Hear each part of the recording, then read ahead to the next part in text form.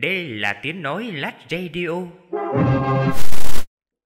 Xin chào tất cả mọi người, lại tiếp tục đến với kênh của Lát Radio nha. Bây giờ thì chúng ta sẽ nghe tiếp đến tập 228 của bộ truyện Thung Phệ Tinh Không. Tập này được mang tên là Thần Thú Giới. Chúc mọi người nghe truyện vui vẻ. Xin cảm ơn tất cả mọi người.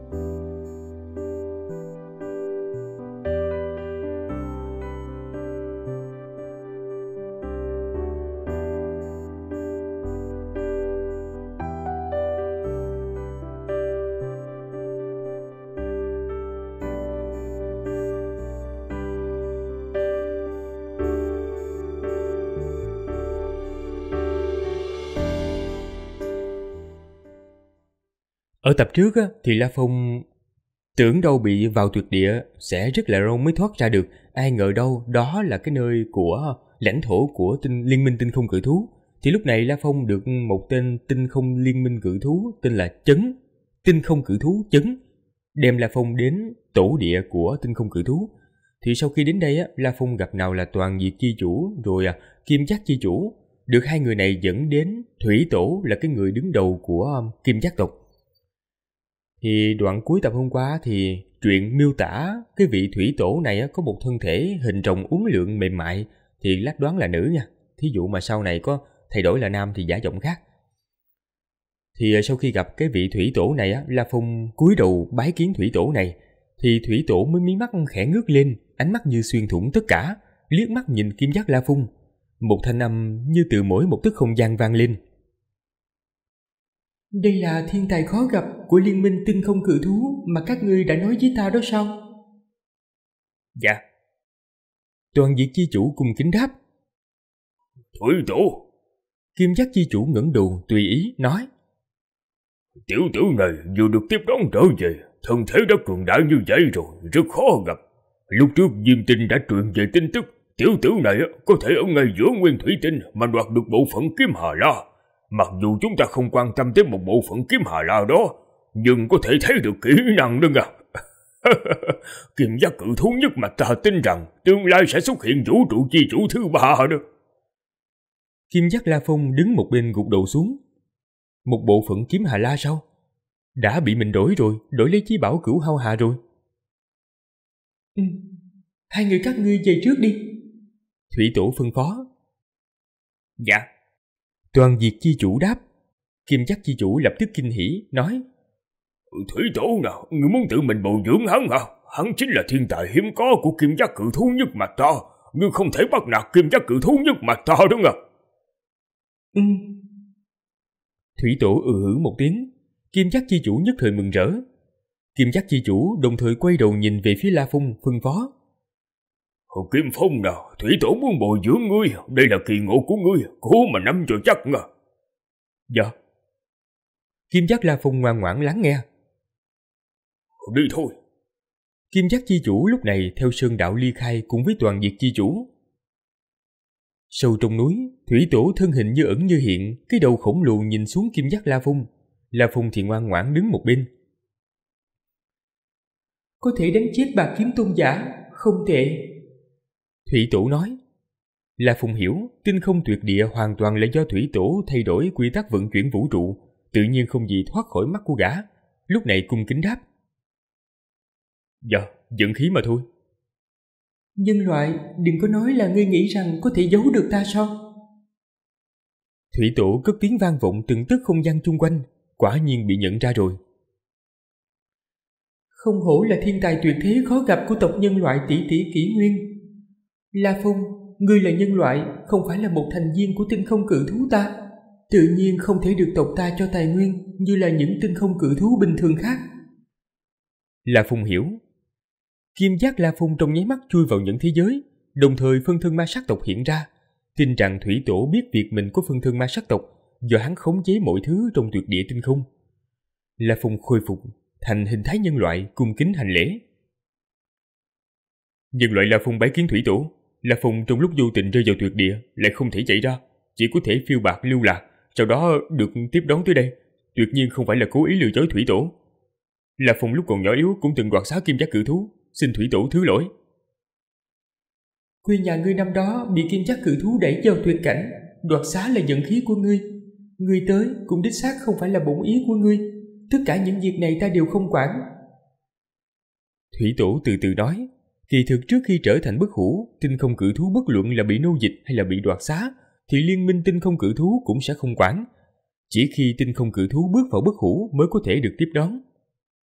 La Phong lại thầm kinh hãi. Việc kim giác cử thú ở địa cầu, ngay ở trong tộc nhân loại cũng rất ít người biết. Thủy tổ liên minh tinh không cử thú làm sao mà biết được chứ? Ngươi tới đây tuyệt nhiên không phải là cơ duyên xảo hợp gì, là do tọa sơn khách sư phụ ngươi an bài đó. Thủy tổ từ từ nói, La Phong giật mình, tọa sơn khách sư phụ sao? Tọa sơn khách xem ra coi trọng ngươi hơn cả nhị đệ tử Diễm Đế. Thủy tổ từ từ nói, đặc biệt mời ta nhờ mở ra trọng địa của liên minh tinh không cự thú cho ngươi. Không cần cảm kích ta để đạt được cái gì đều phải trả giá cả. Tất cả đều có giá của nó. Sư phụ ngươi tọa sơn khách đã trả đủ giá rồi. La phùng hoàn toàn hiểu ra thực ra tất cả đều nằm trong sự khống chế của tọa sơn khách ngươi đi theo mạch thần thú mà trong vũ trụ mênh mông này việc bồi dưỡng siêu cường giả theo mạch thần thú nhất định là sở trường của ta về phần tổ thần giáo, trong việc bồi dưỡng mạch thần thú, chỉ có được chút bề ngoài da lông mà thôi. Tinh không cử thú ta mới là hậu duệ thần thú chính thức. Cái gì? Là Phong khiếp sợ. Hậu duệ sao? Kỳ thực năm đó kim giác cử thú có thể dễ dàng dung hợp nhiều huyết lạc tinh như vậy, thậm chí sau khi tu luyện cửu kiếp bí điển, công dụng huyết lạc tinh vẫn có thể phát huy phù hợp trăm phần trăm. Việc này đã khiến cho La Phong thầm nghi hoặc. Bây giờ nghe theo lời thủy tổ của liên minh tinh không cử thú, tinh không cử thú lại là hậu duệ của thần thú. Trời đất ơi, đại bí mật, tuyệt đối là đại bí mật tuyệt đỉnh trong vũ trụ. Trong liên minh tinh không cử thú ta, bảo địa quan trọng nhất sẽ mở ra cho ngươi. Ta không nói, ngươi cũng sẽ hiểu thôi. Thủy tổ nhìn xuống La Phong. Nhưng ngươi đừng tưởng rằng việc này đơn giản. Sư phụ ngươi đặt ra yêu cầu cho ngươi. Nếu ngươi không thể đạt được yêu cầu, sẽ vĩnh viễn bị nhốt. La phong chớp chớp mắt. Yêu cầu của tọa sơn khách rất cao, thậm chí có thể nói là bất bình thường. Thủy tổ nhìn xuống La Phong. Ta cho rằng ngươi căn bản không thể đạt tới yêu cầu của sư phụ, cho dù tỷ tỷ năm, ngươi cũng không thể thành công đâu. La Phong nhíu mày. Đây là những lời Thủy tổ nói. Thủy tổ là ai? Là một vũ trụ tối cường giả. Một vũ trụ tối cường giả biết rõ La Phong sáng tạo ra bao nhiêu kỳ tích, biết rõ bây giờ La Phong tu luyện tới không tới 10 vạn năm. Nhưng vẫn dám nói như vậy, hiển nhiên yêu cầu đặt ra của tọa sơn khách cao tới mức không tưởng tượng nổi. Ta thậm chí còn đánh cược với hắn, trong vòng 10 dạng kỷ nguyên, nếu người có thể thành công, ta sẽ ban cho chí bảo thích hợp nhất mạch thần thú. Nếu người thất bại, sư phụ ngươi chắc không muốn thua cho ta một món chí bảo đỉnh phong đâu.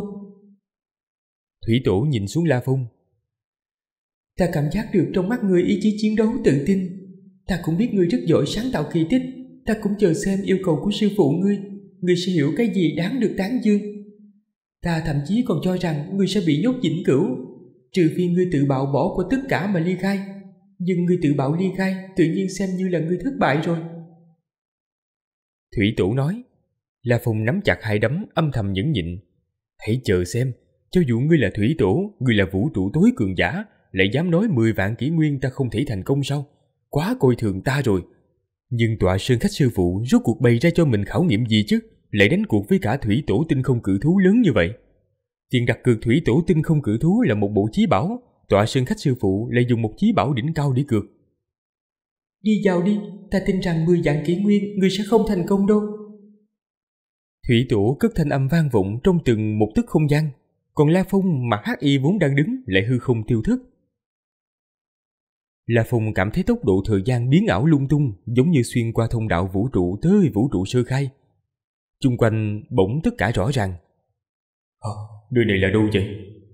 La Phong nhìn cảnh trước mắt, nơi này hoa cỏ xanh tươi, cây cối cao lớn. những cây cối cũ xưa ấy đều có phải cao trên trăm km. La Phong vội xé gió lướt đi, bay đến trên rừng rậm, từ trên không trung nhìn quanh. Liếc mắt nhìn một lần, thấy xa xa ngoài vùng rừng rậm rộng lớn là một bình nguyên. Với tầm nhìn của La Phong mà cũng vẻn vẹn chỉ có thể thấy hai khu vực lớn là rừng rậm và bình nguyên mà thôi. Chỉ thấy trong rừng rậm và bình nguyên đều có những pho tượng khổng lồ. Những pho tượng sừng sững nguy nga chính là pho tượng của tám đại thần thú trời sinh trong truyền thuyết. Mỗi một pho tượng thần thú trời sinh đều có rất nhiều loại, có lúc ngủ, có lúc ngẩng đầu gầm lên, có khi cười đùa. Đủ loại phong cách pho tượng thần thú trời sinh, nhưng mỗi một cái đều tản ra uy áp, tựa như thần thú thực đang hiện ra. Nơi này là đâu vậy? Thủy tổ liên minh tinh không cử thú. Nói là mở trọng địa của liên minh tinh không cử thú cho ta mà. Chẳng lẽ đây là trọng địa của họ sao? Không đúng, tốc độ thời gian. La Phong trên mặt lộ ra vẻ khiếp sợ. Hắn vừa mới thử đưa ý thức tương liên với bản tôn người địa cầu, lập tức nhanh chóng phát hiện ra tốc độ thời gian ở hai nơi này có sai biệt khổng lồ. Khác biệt rất lớn làm La Phong chấn động. Trong nguyên vũ trụ vẻn vẹn chỉ mới có một giây đồng hồ, thì trong một vùng thiên địa chỗ La Phong lại qua tới một vạn giây. Nói cách khác, tỷ lệ tốc độ thời gian đạt tới mức một vạn lần. Sao có thể như vậy được? Tỷ lệ tốc độ thời gian lại ghê gớm như vậy sao? Nói cách khác, ở chỗ này một dạng năm, thì ở nguyên vũ trụ cũng mới được một năm mà thôi. Cho dù là trong tộc nhân loại ta, người ta vẫn có thể mua thời gian điện, nhưng mà bình thường cũng chỉ làm cho tốc độ thời gian nhanh hơn mấy lần, mấy chục lần mà thôi. Bảo vật thời gian điện chỉ có ở vũ trụ chi chủ đã hoàn toàn lĩnh ngộ quy luật thời không mới có thể chế tạo. Chế tạo ra thời gian điện kỳ thực cũng chính là một chỗ tu luyện cho mình, chỉ là tốc độ thời gian nhanh hơn một chút. Tu luyện trong đó 10 năm, bên ngoài có lẽ mới qua một tháng. Nhưng mà theo La Phong biết, thời gian điện cực quý giá. Bình thường nó gia tốc gấp 10 hoặc gấp trăm lần, còn nếu gia tốc cỡ ngàn lần thì là một cái giá trên trời. Gia tốc vạn lần sau, ít nhất trong tộc nhân loại căn bản không có thời gian điện như vậy. La Phong! Một thanh âm già nua vang vọng cả thiên địa, La Phong quay ngoắt đầu lại. Xa xa có một vầng mây đen bay thẳng tới, tản ra uy áp trấn áp cả thế giới. Khi mây đen tiếp cận tới nơi, nó lập tức biến ảo thành một con kim giác cự thú, sau đó một lần nữa biến ảo, biến thẳng thành bộ dáng nhân loại. Một lão giả nhân loại mặc áo bầu trắng có chín cái sừng nhọn. Thủy tổ hả? La Phong hơi do dự. Đây là phân thân của ta. Thủy tổ lão giả đạp hư không bay đến. Lá chú thích nha, thì cũng giống như La Phong vậy đó. Một con tinh không cự thú á, thì tổng cộng gồm cả bản tôn với phân thân là có bốn bốn thân thể các thứ mà mỗi một cái thân thể thì khác nhau à, giọng nói cũng khác nhau tướng mạo khác nhau. Do đó mà chuyện này đoạn này đã miêu tả là thủy tổ này cái phân thân này là một lão giả. Thì lát sẽ giả giọng thành một lão giả sau này cũng đổi luôn cho nó đồng bộ nha rồi tiếp tục. Chỗ người đứng bây giờ chính là một vũ trụ của liên minh tinh không cự thú chúng ta. Một vũ trụ khác hả? La phùng cả kinh. Lúc trước khi nói chuyện với con chấn thì hắn cũng biết trong liên minh tinh không cử thú có một vũ trụ, kỳ thực La Phong cũng chấp nhận được việc này. Dù sao liên minh tinh không cử thú cũng có thực lực tương đương với Hồng Minh. Tộc nhân loại đã có một vũ trụ sơ khai, thì liên minh tinh không cử thú có một vũ trụ cũng không có gì khó hiểu. Còn nơi này là vũ trụ thần thú giới. Thủy tổ nhìn La Phong. Là nơi chuyên môn bồi dưỡng cường giả mà thần thú. Thần thú giới hả? La Phong nhìn thế giới rộng lớn vô biên vô bờ, những pho tượng thần thú đủ loại với uy áp vô tận.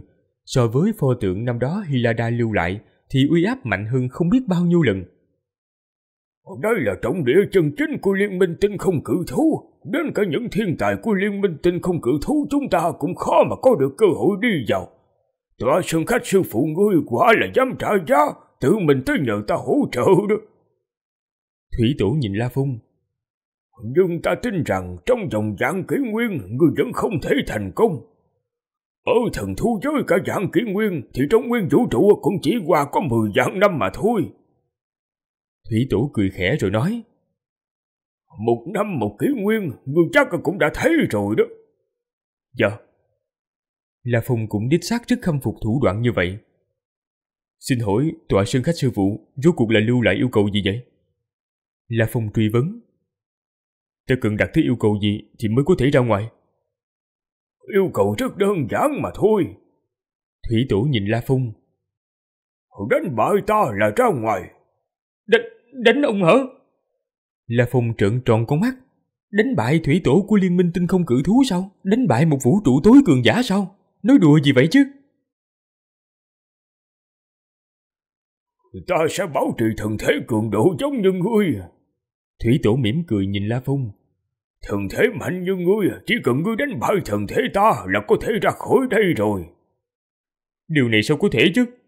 La Phong vội lắc đầu. Người là vũ trụ tối cường giả, thủ đoạn bí pháp của người là không tưởng tượng nổi mà. Cho dù vũ trụ chi chủ có tới, sợ cũng căn bản không làm được việc này. Mà đừng nói là vũ trụ chi chủ nha, cho dù là vũ trụ tối cường giả cũng không nhất định có thể làm được nữa. Đúng vậy, vũ trụ chi chủ cũng không làm được. Thủy tổ mỉm cười nhìn La Phong. Nhưng vũ trụ tối cường giả thì có thể làm được. Vì ta chỉ là một phân thân, nhiều nước có thể áp chế được vũ trụ chi chủ mà thôi. Vừa đối phó với vũ trụ tối cường giả thì vẫn không đủ đó. Chẳng lẽ ta trở thành vũ trụ tối cường giả mới có thể ra ngoài sao? La Phong lắc đầu. Không thể nào, không thể bất bình thường như vậy được. Cho dù La Phong có làm được thì cũng không thể chỉ trong vòng 10 vạn kỷ nguyên mà có thể trở thành vũ trụ tối cường giả. Tin rằng tòa sơn khách sư phụ cũng không ngu xuẩn tới trình độ này. Hơn nữa cho dù trọng địa của liên minh tinh không cử thú tốt đến mấy, cũng không bồi dưỡng La Phong tới trình độ của vũ trụ tối cường giả. Huống chi vũ trụ tối cường giả, căn bản không có cách nào bồi dưỡng. Đạo thần thú, đạo thời không vân vân đều chỉ có thể tu luyện tới vũ trụ chi chủ. Đây đã là một cực hạn rồi, căn bản không có phương pháp trở thành vũ trụ tối cường giả. Muốn trở thành vũ trụ tối cường giả chỉ có thể dựa vào chính mình. Đây là việc mà năm đó tọa sơn khách từng nói qua với La Phong. Yên tâm đi, sư phụ ngươi cho ngươi chút hy vọng. Thủy tổ mỉm cười, nói. La Phong thở phào một hơi, quả nhiên yêu cầu sẽ không bất bình thường như vậy. Khi ngươi còn là cấp bất hủ, ta chỉ có thể sử dụng bí pháp tuyệt học đến phong trình độ vũ trụ chi chủ mà thôi. Thủy tổ mỉm cười nhìn La Phong. Còn khi ngươi đạt tới cấp vũ trụ tôn giả, ta có thể sử dụng bí pháp cực đỉnh của vũ trụ chi chủ. Còn khi ngươi trở thành vũ trụ chi chủ, ta có thể sử dụng tuyệt học tối cường của ta. Bất luận ngươi là bất hủ hay là vũ trụ tôn giả hay là chi chủ, phần thân của ta sẽ luôn duy trì thần thế như ngươi. Thủy tổ mỉm cười. Chỉ là theo cảm ngộ quy luật của ngươi được đề cao, bí pháp ta sử dụng sẽ cao hơn mà thôi. La phùng dạy ra, bí pháp tuyệt học đỉnh phong của vũ trụ chi chủ sao? Đương nhiên, bí pháp tuyệt học đỉnh phong đó. Thủy tổ mỉm cười. Ta khẳng định sử dụng bí pháp tuyệt học đỉnh phong, nhưng rất gần với cực đỉnh đó à. La Phong có cảm giác tuyệt vọng. Hoang đường, quá hoang đường. Hắn vẹn vẹn chỉ là một bất hủ, muốn đối chiến với thủy tổ của tinh không cử thú sao? Tuy nói thủy tổ vẹn vẹn chỉ có thể sử dụng bí pháp rất gần với bí pháp cực đỉnh của vũ trụ chi chủ, nhưng cũng hoàn toàn có thể miễn cưỡng xem như bí pháp cực đỉnh rồi. Đánh bại hả?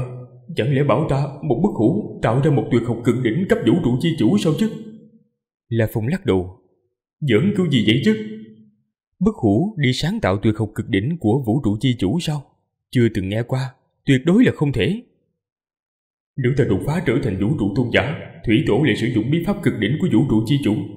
Dưới tay thủy tổ, sợ là bí pháp cực đỉnh mạnh nhất của vũ trụ chi chủ còn mạnh hơn cả hỗn độn thành chủ rồi. La Phong cảm thấy tuyệt vọng. Chờ khi ta trở thành vũ trụ chi chủ, thủy tổ sẽ có thể toàn lực ứng phó, không có hy vọng gì mà. Xem ra các bất hủ ngược lại có hy vọng lớn hơn.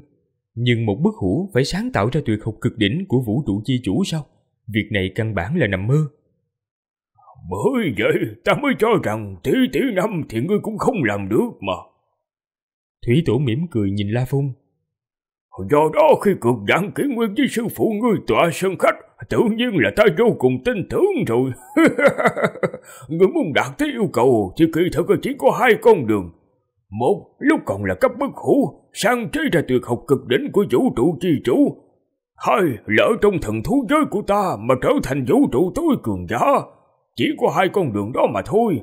Do đó khi đã trở thành vũ trụ tôn giả, vũ trụ chi chủ dân dân thì đừng nghĩ ngợi gì nhiều. Dù sao một khi ngươi phân tâm cảm ngộ quy luật mà tăng lên thì càng về sau càng khó mà.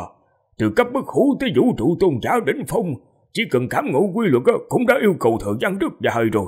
Do đó càng không thể trong vòng một dạng kỷ nguyên mà thành công được. Thủy tổ mỉm cười nhìn La Phong. Đương nhiên giảng giảng chỉ là chút hy vọng mà thôi. Ta cho rằng ngươi thậm chí vĩnh viễn không thể đạt tới mà. Sẽ vĩnh viễn bị nhốt tại thần thú giới này mà thôi. La Phong cảm thấy vô lực mà. Chẳng trách Thủy Tổ, một nhân vật đứng trên đỉnh vũ trụ lại dám đánh cuộc như vậy. Chẳng trách đối phương tự tin. Chút khả năng sau, đây thuần túy là trên lý luận thôi, nhưng thực tế thì xác suất sợ không biết bao nhiêu phần tỷ nữa. Thần thú giới mở ra để bồi dưỡng ngươi. Thủy tổ chỉ quanh bốn phía, chỉ thấy xa xa những pho tượng nhất thời lóe sáng, thậm chí trên bình nguyên xa xa, một bộ phận mặt đất cũng phóng ra hào quang. Thì thoảng có những khu vực có hào quang ngút trời. Pho tượng, mặt đất, sơn mạch vách đá xa xa, có chỗ lưu lại những hoa văn quy luật, có chỗ là bí pháp tuyệt học, các loại bí pháp chân phúc thần thể, bí pháp chân phúc linh hồn, bí pháp chiến đấu, bí pháp cận chiến, bí pháp công kích linh hồn, bí pháp bình khí niệm lực, dân dân, cái gì cần có đều đã có cả. Uy năng có mạnh có yếu, cho dù tuyệt học cực đỉnh cấp vũ trụ chi chủ cũng có tới vài chục bộ. Ngươi cứ tùy ý mà học đi, khắp nơi trong thần thú giới đều mở ra với ngươi. Thủy tổ cười khẽ, nói Ngươi có thể tận tình nghiên cứu tất cả tuyệt học này, phát huy thiên phú của ngươi, rồi sáng tạo ra kỳ tích đi nha. ngươi muốn khiêu chiến ta lúc nào cũng có thể khiêu chiến đó. Đương nhiên, nếu là ngươi trở thành vũ trụ tối cường giả, không cần khiêu chiến cũng sẽ thành công. Tấn tình mà tham quan nha, tận tình học tập đi, ta đợi ngươi khiêu chiến. mười dạng kỷ nguyên, mười dạng kỷ nguyên, thú vị, rất thú vị mà. Thủy tổ cười sau đó hư không tiêu thất. La Phùng nhìn tinh không cự thú thủy tổ biến mất, rồi nhanh chóng đáp xuống đất. Hắn bay đến một hồ nước trong một khu rừng rậm rộng lớn, lặng lẽ khoanh chân ngồi xuống, nhắm mắt tập trung suy nghĩ. Tâm dần dần hoàn toàn tĩnh lặng. La Phong lúc này mới mở mắt ra, bắt đầu suy tư về chuyện này. Tòa sư khách sư phụ trả giá không nhỏ để ta tranh thủ có được cơ hội lần này để ta có thể đi vào trọng địa của liên minh tinh không cự thú. Nhưng bảo ta đánh bại phân thân thủy tổ hả? Làm sao mà ta có thể làm được chứ? Trở thành vũ trụ tối cường giả, đối với ta thì quả là quá xa xôi rồi. Sáng chế ra tuyệt học cực đỉnh của vũ trụ chi chủ sao? Cảm ngộ quy luật của ta rất là thấp, miễn cưỡng xem như trình độ cánh cửa vũ trụ tôn giả mà thôi. Sáng tạo ra bí pháp tuyệt học, đầu tiên phải có cảm ngộ quy luật làm cơ sở. Ta chẳng có cơ sở gì, làm sao mà sáng tạo đi chứ? Cho dù có ý cảnh thần thú làm cơ sở, nhưng mà ý cảnh thần thú của ta cũng chỉ cao hơn cảm ngộ quy luật có chút xíu mà thôi. là phùng thầm lắc đầu, cảm ngộ quy luật, ý cảnh thần thú là nguyên lý của bí pháp tuyệt học. Cảm ngộ quy luật hắn đã hoàn toàn hiểu, ý cảnh thần thú mặc dù không hiểu, nhưng lại bằng vào vô số lần mô phỏng hoàn toàn nhớ lại. Nhưng mà cảm ngộ quy luật và ý cảnh thần thú của ta đều rất thấp, muốn sáng tạo ra tuyệt học cực đỉnh cấp vũ trụ chi chủ hả? Làm sao mà làm đây? La Phùng ngẩng đầu nhìn quanh. Tòa sơn khách sư phụ sắp đặt cho ta tới đây. Chẳng lẽ thần thú giới có thể giúp ta đạt tới mức đó sao? La Phong bay thẳng lên trời, hóa thành một luồng hào quang, nhanh chóng bay về phía một pho tượng kim chi thần thú gần chỗ mình. Kim chi thần thú là hóa thân của quy luật dung hợp của không gian, kim, cũng là nhất mạch mà La Phong tu luyện. La Phong dừng trước một pho tượng kim chi thần thú sừng sững, chỉ thấy con thằng lằn một sừng khổng lồ bốn vó thô chắc, chân trước dẫm trên mặt đất, cái đuôi thực dài đang khẽ quất uốn lượn giữa không trung, cả pho tượng đầy lân giáp. Trên đó có những hoa văn kỳ bí phức tạp, hoa văn đó hoàn toàn khác với hoa văn trên pho tượng thần thú của La Phong. Một loại hoa văn mới, cũng làm cho cả pho tượng sinh ra một luồng khí tức điềm tĩnh bình thản. Tựa hồ kim chi thần thú đang đi bách bộ thông dong, móng vuốt tùy ý cào xuống mặt đất. La Phong ngẩng đầu nhìn lên có vẻ nghi hoặc. Ồ, Ta rõ ràng cảm giác như hóa thân quy luật, nhưng vì sao hoa văn trên lưng giáp này lại khác vậy? Nghiên cứu hồi lâu, La Phong cũng không hiểu là phùng xé gió bay lên, bay về phía một pho tượng kim chi thần thú khác. Dù sao kim chi thần thú, thứ mà hắn hiểu rõ nhất trong số tám đại thần thú.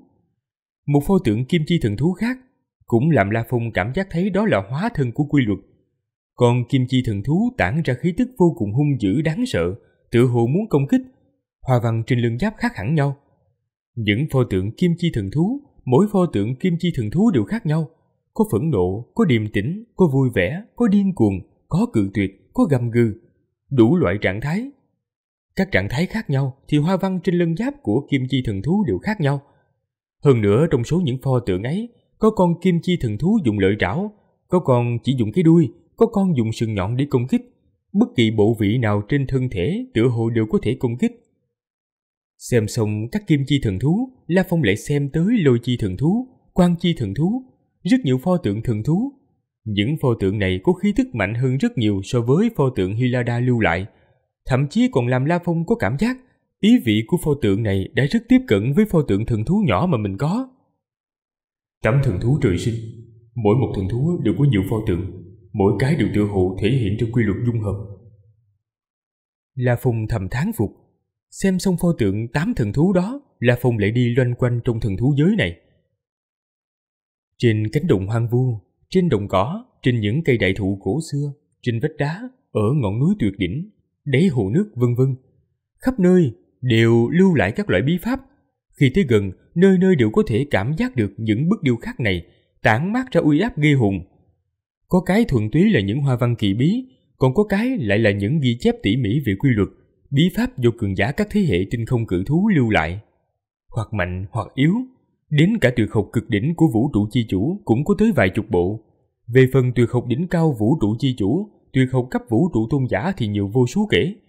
Có bí pháp binh khí cận chiến, bí pháp binh khí niệm lực, bí pháp ảo thuật, bí pháp loại chấn phúc thần thể, bí pháp loại chấn phúc linh hồn, làm La Phong hoa cả mắt. Bí pháp chấn phúc linh hồn của ta giản dạng chỉ chấn phúc có 32 lần. Kiểm giác cự thú tuy có bí pháp loại chấn phúc, nhưng bản tung thiên địa là bí pháp loại chấn phúc sơ cấp, mức cực hạn chỉ là 36 lần.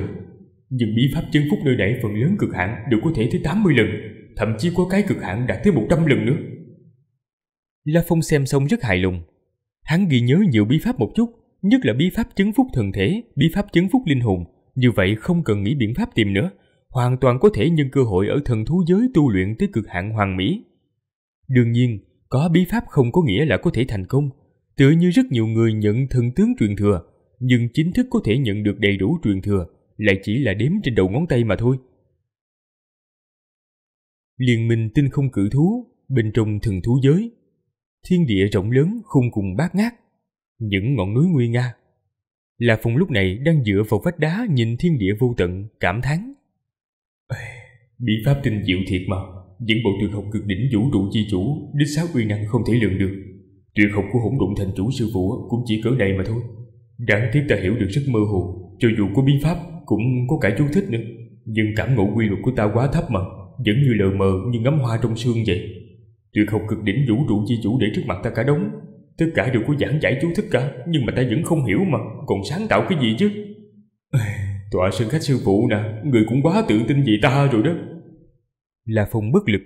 Đây là một bảo tàng. Chỉ cần những pho tượng thần thú Cũng khiến cho La Phong thấy được ý cảnh của thần thú trời sinh khác nhau. Trạng thái khác nhau như thế nào là phùng cảm giác được những điểm nghi hoặc Những điểm làm mình khốn khổ mấy năm nay Bây giờ đã được sáng tỏ thông suốt hơn nữa là phùng có một loại cảm giác, những hoa văn lưng giáp khác nhau sẽ sinh ra uy áp khác nhau. Mỗi con đều tựa như hóa thân của quy luật, việc này ẩn chứa bí mật. Ta cảm giác mỗi một pho tượng đều hẳn là một bộ siêu tuyệt học. Hơn nữa những pho tượng này hẳn là có gì đó liên lạc nhau. Chỉ là cảnh giới của ta còn rất thấp, căn bản là nhìn không thấu mà thôi. La Phong kỳ thực bắt đầu cũng lờ mờ loáng thoáng có một loại cảm giác. Sau khi xem nhiều bí pháp tuyệt học, thì hắn phát hiện ra người sáng tạo ra bí pháp tuyệt học này, phần lớn đều ghi trong phần phụ lục, nói là sau khi nhìn pho tượng thần thú mà giác ngộ ra. Điều này làm La Phong nhất thời hiểu ra, những pho tượng này tuyệt không bình thường. Ngộ hả? Làm sao mà ngộ đây? Những người sáng tạo ra tuyệt học đều phải là vũ trụ chi chủ, ta làm sao mà ngộ được chứ? Tọa sơn khách sư phụ ơi là tọa sơn khách sư phụ, không biết chừng ông sẽ thua mất chí bảo đỉnh phong rồi đây. La Phong lẩm bẩm, đột nhiên hắn sửng sốt. Không đúng, thủy tổ lợi hại, tọa sơn khách sư phụ cũng đâu có ngốc đâu. Tính đi tính lại, tọa sơn khách sư phụ hiểu rõ ta hơn. Ông đã dám cá như vậy, chứng tỏ ông ấy cũng hơi nắm chắc rồi. Nói cách khác, ta có khả năng nhất định nào đó mà. Nhưng mà khả năng đó rốt cuộc ở đâu chứ? Ở đâu đây? Làm sao mà thực hiện đây? La Phong loáng thoáng cảm giác mình hẳn là có cách thực hiện, nhưng nhất thời nghĩ không ra được. Nghĩ ngợi đủ đường ba ngày mà không có biện pháp gì. Thôi vậy, mười dạng kỷ nguyên mà, cũng chính là mười ức năm. Thời gian dài như vậy ta cũng không dội. tạm thời toàn tâm tu luyện cửu kiếp bí điển vậy.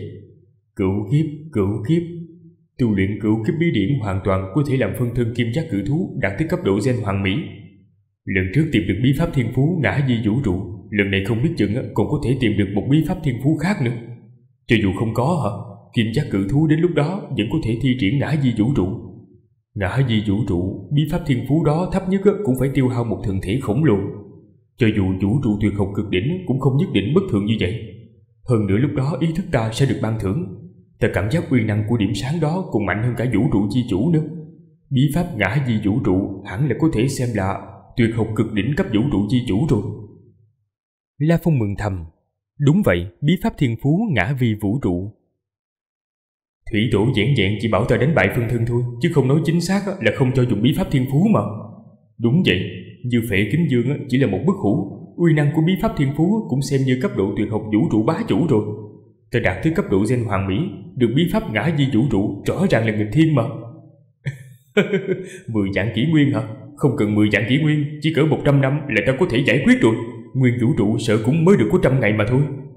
La Phong thầm chờ mong, hắn có một loại cảm giác mãnh liệt so với bí pháp thiên phú ngã vi vũ trụ mà mình tìm được thì động tĩnh sắp xảy ra lần này uy năng tuyệt đối không kém. Hơn nữa khi thi triển thì biên độ tiêu hao nhất định phù hợp với thần thể.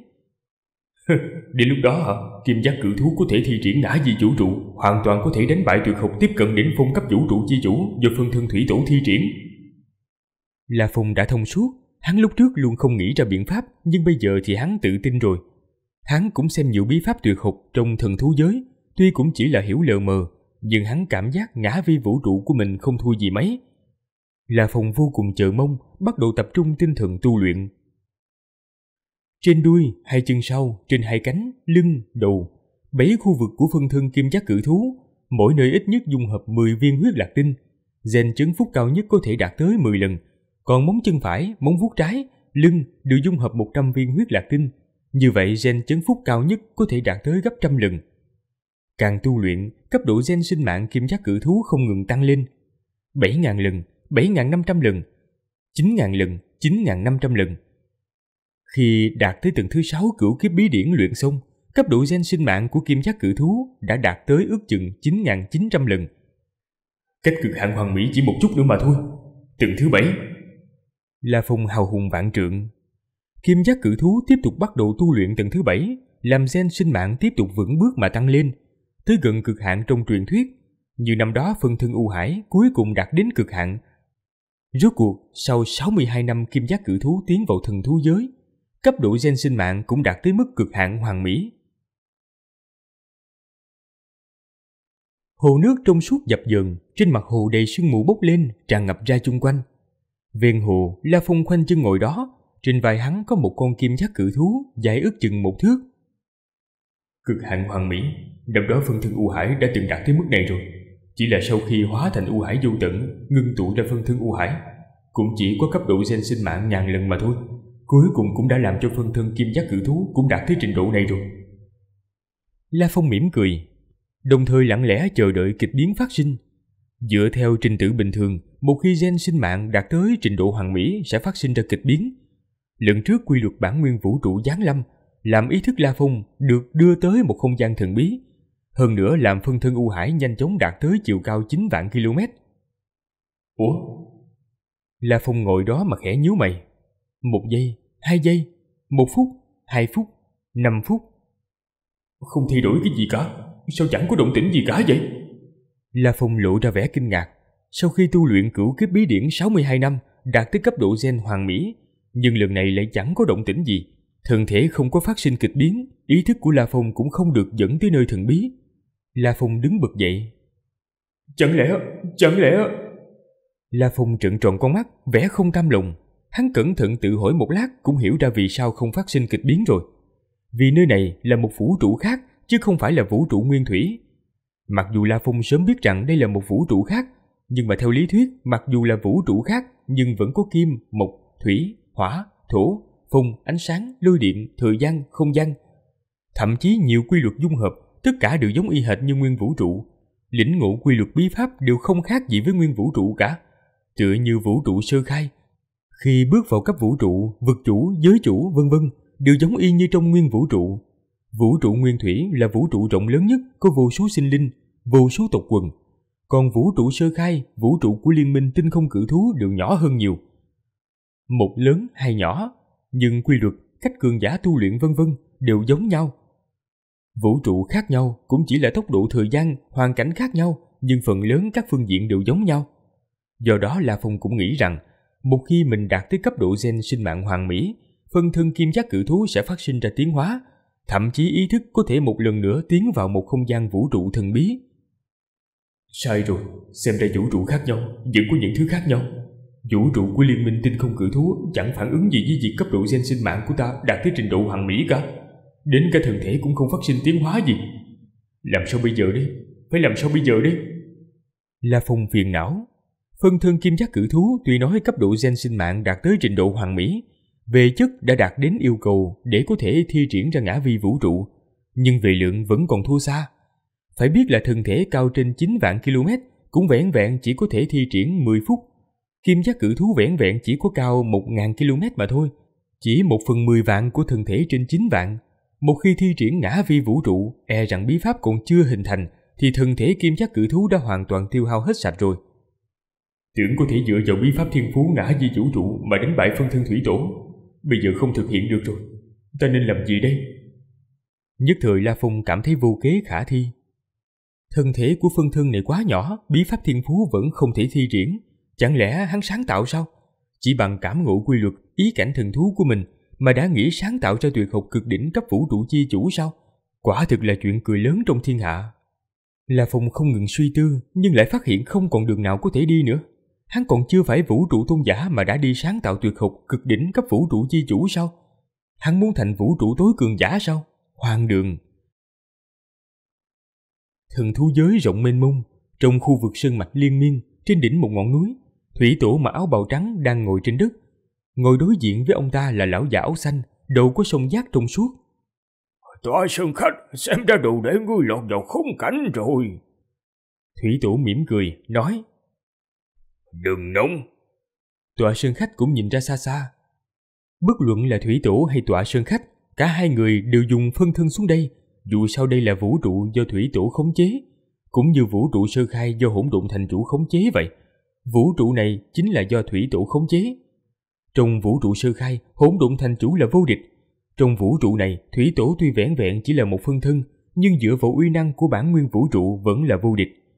Do đó tuy cũng là vũ trụ tối cường giả, Tọa sơn khách đương nhiên cũng không dám đem thân hãm vào hiểm cảnh, chỉ tùy ý ngưng tụ ra một phân thân tới đây là được rồi.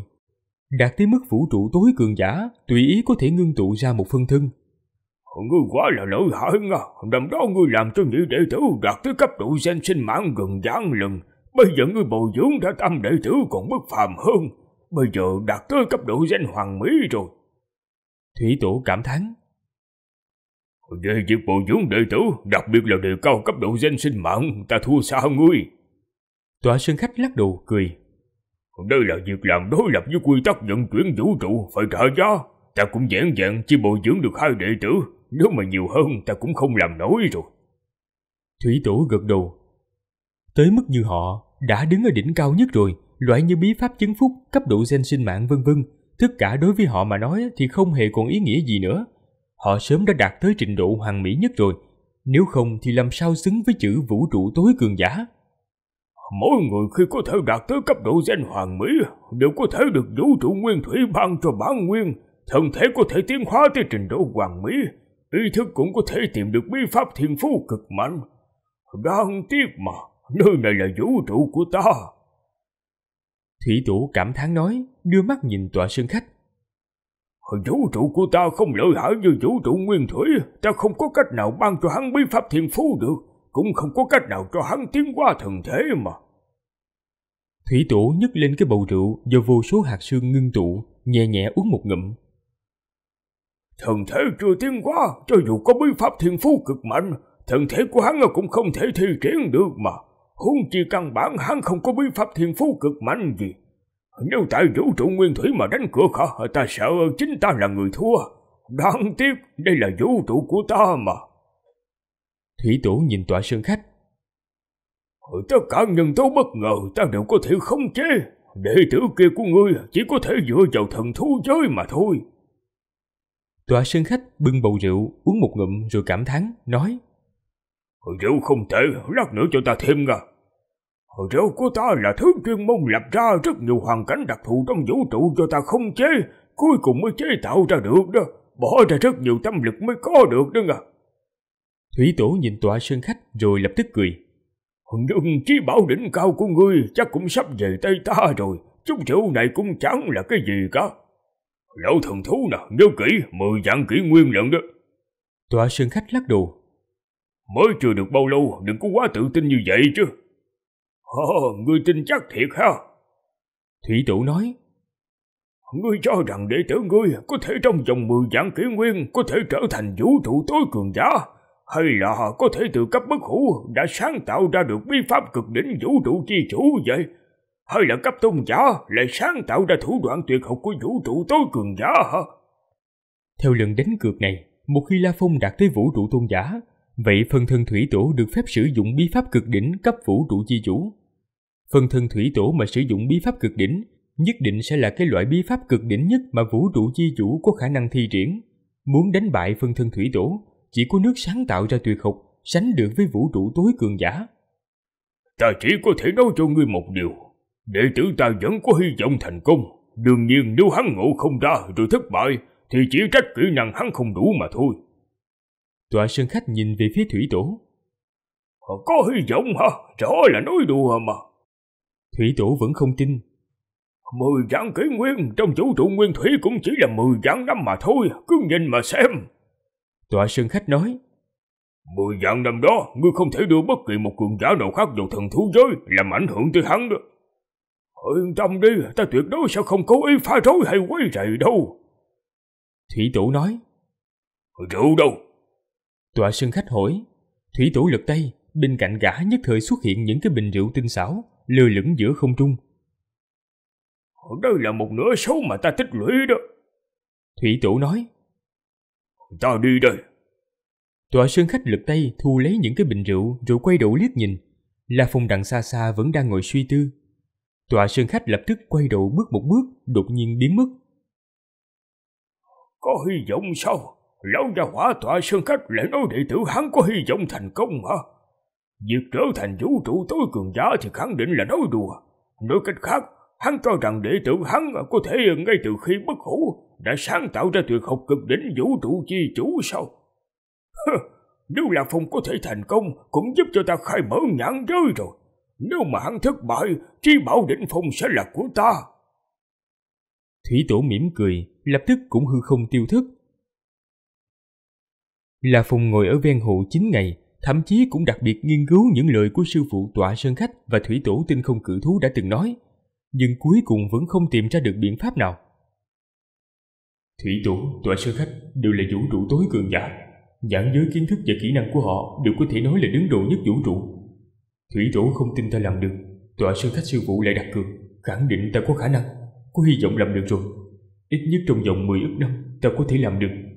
Ông ta để ta tới thần thú giới này, vậy ta muốn đạt được yêu cầu, đầu tiên cần tìm từ trong thần thú giới rồi. La Phong hiểu, mục tiêu điểm đầu tiên cần thực hiện là thần thú giới. Trong lịch sử khẳng định có không ít người tới thần thú giới, dù sao vô số bí pháp ở đằng kia rõ ràng là do nhiều vũ trụ chi chủ, vũ trụ tôn giả của liên minh tinh không cử thú lưu lại. Nhưng mà nhân vật cường đại đó cũng không thể còn là cấp bất hủ, mà đã sáng tạo ra tuyệt học cực đỉnh của vũ trụ chi chủ rồi. Nếu mà trước giờ có người làm được như vậy rồi, thủy tổ đương nhiên cũng sẽ không cược rồi. La Phong thầm gật đầu, từ đó suy đoán nếu chỉ dựa vào thần thú giới thì khẳng định là không đủ. Đầu tiên là phải dựa vào thần thú giới, hai là phải dựa vào một vài bí mật bản thân ta, ba là còn cần một thời gian dài, nếu không tỏa sơn khách cũng không cược 10 vạn kỷ nguyên rồi. La Phong thầm nghĩ, 10 vạn kỷ nguyên cơ hội tương đương với 10 ức năm, thực sự là thời gian dài đằng đẵng mà. La Phong hiểu nếu muốn thành công phải xuất phát từ thần thú giới, cũng hiểu việc tỏa sơn khách sư phụ trả cái giá đắt như vậy cho mình để vào thần thú giới thì nhất định là thần thú giới này sẽ rất có ích với La Phong hắn. Vì vậy La Phong bắt đầu lại một lần nữa đi quanh thần thú giới. Lần này La Phong vô cùng cẩn thận nghiêm túc. Đầu tiên tới xem trong những bí pháp khắc lưu lại trên bình nguyên hoặc là mặt đất. Học hai bộ bí pháp loại chấn phúc. Một là bí pháp loại chấn phúc linh hồn có tên là cửu phong tỏa, tu luyện tới cực hạn có thể làm chấn phúc linh hồn tới mức 99,99. Kỳ thực cũng có thể xem như 100 lần. Thứ nữa là bí pháp chấn phúc thần thể tên là kim chi thần thú, tu luyện tới cực hạn cũng có thể đạt tới 100 lần. La Phong nguyên tưởng rằng mình tu luyện sẽ rất khó khăn, nhưng không ngờ kim chi thần thú có thể liên tục phát triển. Ngắn ngủn chỉ ba ngày đã tu luyện tới mức hoàn mỹ nhất, bất luận là phân thân ma sát tộc, bản tôn người địa cầu, phân thân u hải, phân thân kim giác cử thú, đều có thể thi triển toàn bộ bí pháp chấn phúc thần thể này. Có thể nhanh như vậy, La Phong thầm nghĩ, sợ là có liên quan tới việc thần thể mình đã đạt tới cấp độ gen sinh mạng hoàn mỹ. Về phần cửu phong tỏa, lấy yêu cầu về khống chế thần lực hư hóa cực hạn, ý thức và ý chí đều cực cao, nhưng mà ý chí ý thức của La Phong đều là vũ trụ bá chủ, còn các vũ trụ bá chủ về mặt chấn phúc linh hồn cơ hội đều đạt tới trình độ hoàn mỹ. La Phong tu luyện nó xem ra cũng dễ dàng. Mất hơn một tháng cũng tu luyện cửu phong tỏa tới mức hoàn mỹ. Thần lực hư hóa, ý chí, ý thức của ta đều là trình độ vũ trụ bá chủ, tu luyện lại dễ dàng như vậy. La Phong thầm than, đây là thực lực khác nhau nên khó khăn khác nhau. Nếu là bất hủ cấp phong vương, e rằng trong ngàn vạn bất hủ cấp phong vương cũng không hề có một ai có thể tu luyện cửu phong tỏa tới đỉnh cao. Hai bí pháp loại chấn phúc, cửu phong tỏa và kim chi thần thú mất hơn một tháng mới luyện thành. Sau đó là Phong tiếp tục du lịch cả thần thú giới. Thần thú giới có 64 pho tượng thần thú. 8 thần thú trời sinh, mỗi một thần thú trời sinh đều có 8 pho tượng thần thú. Trong đó có 36 loại tuyệt học cực đỉnh cấp vũ trụ chi chủ. Hơn 300 loại tuyệt học đỉnh cao vũ trụ chi chủ, trên 3.000 loại tuyệt học cực đỉnh của vũ trụ tôn giả. Tuyệt học đỉnh cao vũ trụ tôn giả phải tới mấy vạn loại. Còn có hàng loạt những hoa văn quy luật nhìn như rất tùy ý. Những bí pháp tuyệt học ấy phần lớn hắn không hiểu cái gì cả. Chỉ có một vài bí pháp thu thiển nhất thì hắn vẫn có thể thấp thoáng thấy được một chút. Quan kháng nghiên cứu tuyệt học nửa năm, là phòng đi tới trước một pho tượng kim chi thần thú, ngẩng đầu cẩn thận quan kháng. Những tuyệt học đó hoàn toàn vô dụng với ta mà. Đó đều là những thứ mà các cường giả khác sáng chế. Cho dù ta có học cũng chỉ thích hợp cho người đó mà thôi. Khi ta thi triển uy năng sẽ kém đi rất nhiều. Còn rất nhiều bí pháp đều có ghi là họ tìm hiểu từ pho tượng thần thú. Đến cả vũ trụ chi chủ cũng tìm hiểu pho tượng thần thú nữa. Cả thần thú giới này, cái quý nhất chính là 64 pho tượng thần thú này. La Phong nhìn chầm chầm vào pho tượng. Thần thú giới, trên một đỉnh núi, Thủy tổ thông dong đứng đó nhìn xuống La Phong đang đứng trước pho tượng kim chi thần thú trong khu rừng rậm rộng lớn, lẩm bẩm. Lại đứng trước pho tượng thần thú trên ba năm, xem ra ngươi cũng đã hiểu được rồi. Pho tượng thần thú mới là thứ quý giá nhất. Đúng vậy, liên minh tinh không cử thú ta Phạm là siêu cường giả hoặc thiên tài tuyệt thế có tư cách vào đây đều có thể hiểu pho tượng thần thú mới là mấu chốt. Rất nhiều người hiểu được điểm này, nhưng từ trong đó mà ngộ ra tuyệt học ha, đặc biệt là ngộ ra tuyệt học cực đỉnh vũ trụ chi chủ, chỉ là số cực nhỏ mà thôi. Hơn nữa tất cả những người ngộ ra tuyệt học cực đỉnh cấp vũ trụ chi chủ đều là vũ trụ chi chủ cả. Thủy tổ thực ra rất thông dong, ông ta cũng hiểu rõ những bí pháp khác trong thần thú giới nhìn như rất trân quý, kỳ thực chẳng là cái gì. 64 pho tượng thần thú mới là vật báo vô giá. La Phùng lần lượt đứng trước 8 tượng kim chi thần thú. Cái ngắn thì tìm hiểu hơn một năm, cái lâu thì tìm hiểu 8 năm. Về phần những pho tượng thần thú khác như lôi chi thần thú, quan chi thần thú, thời gian tìm hiểu rất là ngắn. Dù sao hắn không phải đi theo những đạo thần thú kia. 64 pho tượng thần thú mất 52 năm. Càng xem càng thấy sự hoàn mỹ ngơ. Tám pho tượng kim chi thần thú. La Phùng cảm giác sau khi quan kháng tám kim chi thần thú, đủ mọi tình huống như kim chi thần thú phẫn nộ, vui sướng, trầm tĩnh, gầm gừ, điên cuồng, tất cả đều quen thuộc. Nhắm mắt lại cũng như cảm giác đã từng thấy con thần thú trời sinh, kim chi thần thú. Nếu mà thiếu đi một pho tượng sẽ cảm thấy không trọn vẹn. La Phong thầm gật đầu, kỳ thực chỉ cần xem 64 pho tượng chỉ cần là một cường giả sẽ cảm giác được 64 pho tượng là một khối. Trên 64 pho tượng cảm giác có thể kết hợp hình thành một khối, hoàn toàn có thể cấu thành một bộ siêu tuyệt hục Như một đôi nam nữ, liếc mắt nhìn đã cảm giác là một đôi. 64 pho tượng khi tĩnh tâm một quan kháng sẽ cảm giác chúng là một khối. Những cường giả liên minh tinh không cử thú tới thần thú giới phỏng chừng đều có thể cảm giác được. Nhưng là không ai có thể ngộ ra bí pháp cuối cùng. La Phong thầm nghĩ, vì 36 loại bí pháp cực đỉnh lợi hại nhất thần thú giới, có cái là tìm hiểu từ kim chi thần thú mà giác ngộ ra, có cái là tìm hiểu lôi chi thần thú mà giác ngộ ra. Thỉnh thoảng có người tìm hiểu hai loại thần thú mà giác ngộ. Nhưng uy áp từ những điêu khắc bí pháp lưu lại thì uy áp đều khá tương đồng. Hiển nhiên cấp độ bí pháp đều chênh lệch không đáng kể. Nếu tuyệt học sáng chế từ nhiều pho tượng thần thú, thì hẳn phải tuyệt đối bao trùm bí pháp khác mới phải. Học xong hai bí pháp chấn phúc, lại nghiên cứu pho tượng thần thú, là phòng bắt đầu nghiên cứu bản thân. Muốn thành công, một là phải dựa vào thần thú giới, hai dựa vào đặc điểm tự thân ta, ba dựa vào thời gian. Ta xem như đã cẩn thận tìm hiểu được thần thú giới này rồi. Còn bản thân ta, cái khác người mà đến cả các thế hệ siêu cường giả liên minh tinh không cự thú, ngoại trừ thủy tổ cũng không thể sánh ngang. Hẳn là cửu kiếp bí điển, tinh thần tháp, bí pháp thiên phú ngã di vũ trụ, u hải vô tận. La Phong thầm nghĩ, cửu kiếp bí điển độc nhất vô nhị vũ trụ. Tinh thần tháp chí bảo chí cường trong vũ trụ, liên minh tinh không cử thú ngoại trừ thủy tổ, xác suất những nhân vật khác có chí bảo chí cường phỏng chừng cực thấp, ít nhất là Phong chưa nghe nói bao giờ. Bí pháp thiên phú ngã vi vũ trụ là bí pháp thiên phú sau khi cấp độ gen sinh mạng hoàng mỹ được vũ trụ ban cho. Phải biết là rất nhiều sinh mạng đặc thù độc nhất vô nhị nghịch thiên, cũng chỉ là cấp độ gen sinh mạng mấy ngàn lần mà thôi. Gần vạn đã rất hiếm thấy rồi, chứ đừng nói đạt tới mức hoàng mỹ. Tinh không cử thú không phải sinh mạng đặc thù, trừ phi có thủ đoạn cùng loại với cửu kiếp bí điển, chứ e rằng rất khó đạt tới mức như vậy. U Hải vô tận đại biểu cho thần lực cơ hồ vô cùng vô tận, nhưng tiếc rằng hắn đang ở một vùng vũ trụ khác, căn bản là không có cách nào thu nạp thần lực từ U Hải vô tận. Nói là làm, vũ trụ nguyên thủy, bản tung người địa cầu của La Phong đầu tiên là đi thẳng tới tinh thần tháp, nghiên cứu những hoa văn kỳ bí khác trên vô số ngôi sao. Những cây trụ cao ngút trời trong tinh thần tháp cảm giác thấy chúng thâm ảo hơn cả những bí pháp cực đỉnh các vũ trụ chi chủ trong thần thú giới, hoàn toàn không hiểu gì. Tiếp theo, hắn cẩn thận nghiên cứu nội dung cửu kiếp bí điển, thuần túy là một bộ bí pháp đề cao cấp độ gen sinh mạng. Hơn nữa nếu nói về mức độ thâm ảo, nó hoàn toàn có thể so với hoa văn kỳ bí ở tinh thần tháp, vượt xa bí pháp cực đỉnh cấp vũ trụ chi chủ. Hắn cũng không hiểu được ảo diệu, chỉ có thể từ từ tu luyện mà thôi. Tiếp theo, trở lại U Hải vô tận, bắt đầu thi triển bí pháp thiên phú ngã vi vũ trụ. Những phần thân khác của La Phong không thể thi triển được ngã vi vũ trụ, trừ phi cho địch nhân tiến vào thần quốc, dùng U Hải vô tận trong thần quốc để thi triển ngã vi vũ trụ. Bí pháp thiên phú, ngã vi vũ trụ. Nhất thời những dòng thác thần lực vô tận thiêu đốt hóa thành năng lượng vô tận, trên bầu trời U Hải vô tận lập tức xuất hiện một vũ trụ nhỏ. Một hình cầu như quả trứng khổng lồ, đường kính cỡ trăm ức km. Đây là vũ trụ, một vũ trụ nhỏ hả? Ý thức La Phùng dung nhập vào trong vũ trụ nhỏ, cảm thấy vô cùng kích động hưng phấn. Từ sau khi tìm được bí pháp thiên phú ngã vi vũ trụ, hắn vẫn chưa thi triển lần nào. Dựa theo những gì ghi lại trong ý thức về việc khu động bí pháp, cho thấy tốc độ tiêu hao thần lực quả thực lớn tới đáng sợ. Cơ hồ vừa khởi động, thân thể một con kim giác cử thú lập tức hoàn toàn tiêu hao sạch. Cũng may U Hải vô tận cũng đủ rộng.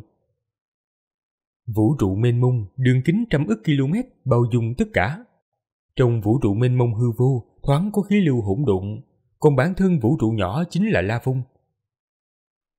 Huyền diệu thân, không chí tuyệt đối, không chí tuyệt đối mà.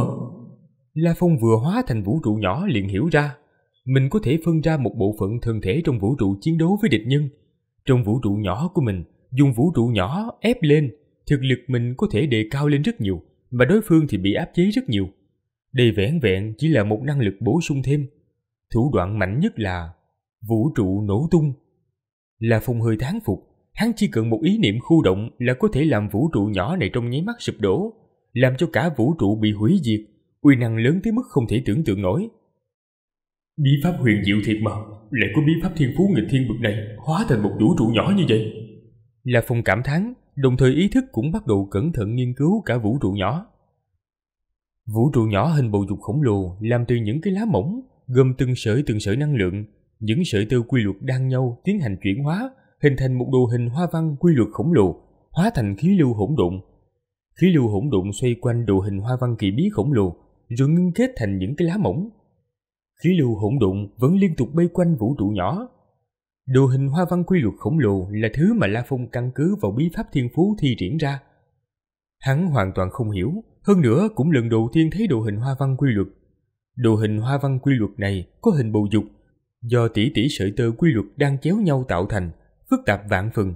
Đồ hình hoa văn quy luật này là quy tắc vận chuyển của vũ trụ nhỏ, còn năng lượng thần lực La Phong tiêu hao để cung ứng cho cả vũ trụ nhỏ này, nói đúng ra nó không phải là một vũ trụ chính thức. Vũ trụ chính thức thì năng lượng sẽ được sử dụng tuần hoàn, hẳn vĩnh viễn không hao hụt. Nhưng mà năng lượng của La Phong lại luôn bị tiêu hao, hiển nhiên đồ hình hoa văn quy luật này á, hẳn là một đồ hình hoa văn kỳ bí đơn giản hóa sơ khai của vũ trụ nguyên thủy. Nhưng mà cho dù là như vậy, đã cũng làm cho La Phong cứng lưỡi rồi. Wow, trời! La Phong hoàn toàn bị đồ hình hoa văn kỳ bí làm cho chấn động. Những đồ hình hoa văn kỳ bí này như có linh hồn, mỹ lệ tuyệt vời. Lung linh hơn tất cả các bí pháp cực đỉnh, thậm chí còn mỹ lệ hơn cả những hoa văn kỳ bí trên pho tượng thần thú nữa. Hết tập 228 của bộ truyện Thung Phỉ Tinh Không. Cảm ơn tất cả mọi người đã lắng nghe giọng đọc của Lách Radio.